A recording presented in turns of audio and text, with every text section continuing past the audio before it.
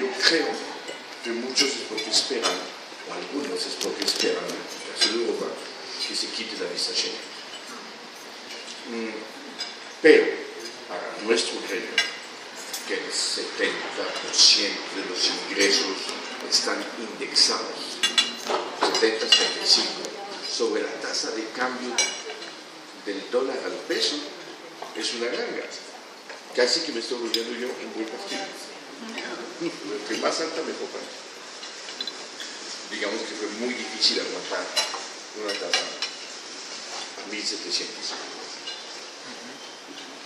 yo le quería preguntar también, pero si me dejas, yo quisiera profundizar un poquito más en ese, punto.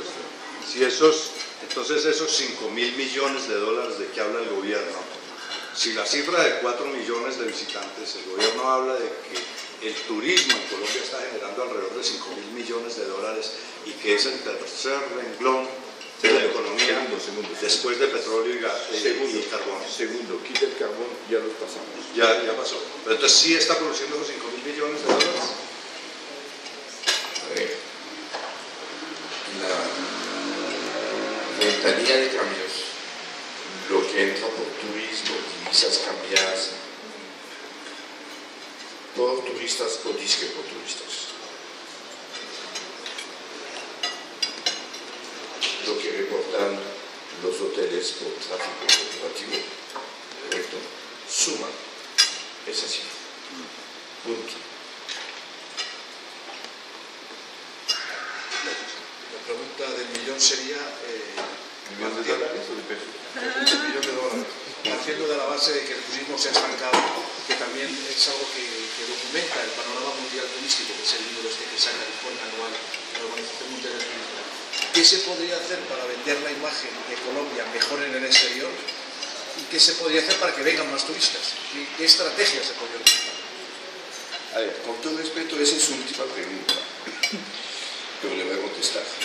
Aquí aparece la siguiente. Ah, o sea, la chulo y la tacho, la doy por contestar. La primera también. Ah,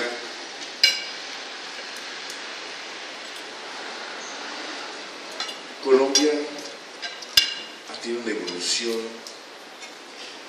en percepción turística muy sui. Quienes tienen miedo y tenían uso de razón en el año 1960, cuando llegué a Colombia, recuerdan que es un país que carecía totalmente de imagen. No era ni buena ni mala imagen, sino no imagen. Rarísimo encontrar en el mundo un país que no existía.